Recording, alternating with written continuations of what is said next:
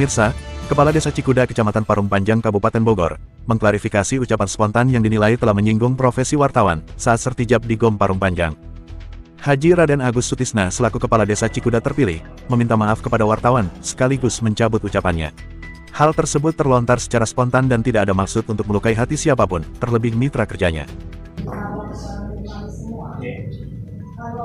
Ada semua wartawan Indonesia, terutama kepada rekan media yang bertugas di Parung Panjang, Kabupaten Bogor, atas ucapan saya menyinggung profesi jurnalis.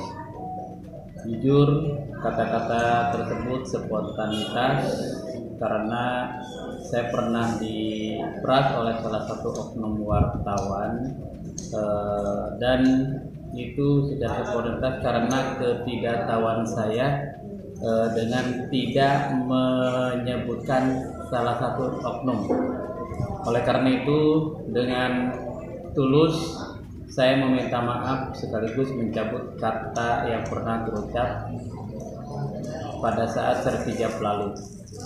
Harapan saya rekan-rekan semua bisa menjadi mitra kerja kami dan mohon kritik dan saran agar dalam memikul amanah sebagai kepala desa Cikuda saya bisa mengemban amanah dengan sebaik-baiknya.